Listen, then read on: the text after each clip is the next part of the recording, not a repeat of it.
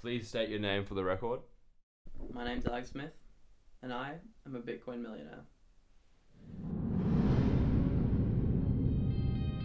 When it comes to Bitcoin, the action never stops. But The value of Bitcoin has risen exponentially, up 600% this year. Future of money. Cryptocurrencies and most famously Bitcoin have been in the headlines for years now. When I was young, I saw this thing called Bitcoin. I thought I was just buying a bit of coins, you know, for my coin collection. You know, people keep on coming up to me asking, what is cryptocurrency? How should I invest in it?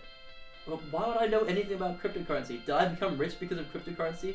No, I became rich from Bitcoin. Come on! What I like to do to de-stress is just play video games, especially on the Xbox. My favorite has to be FIFA. Can't get mad at it. It's just such a fun game. You know, one of the things I love doing is cooking. And my favorite thing to cook is when I cook meals for wakey bakey time. That's just what I call breakfast. I change language. Some people call me the name changer because I change so many words. Why stick to old boring words? For example, the bedroom, dream factory.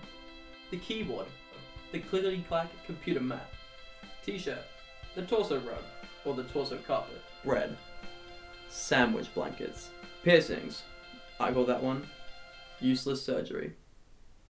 When I first became rich, my parents, my teachers, they all told me to invest my money in big companies or in property. But do I know that sort of stuff?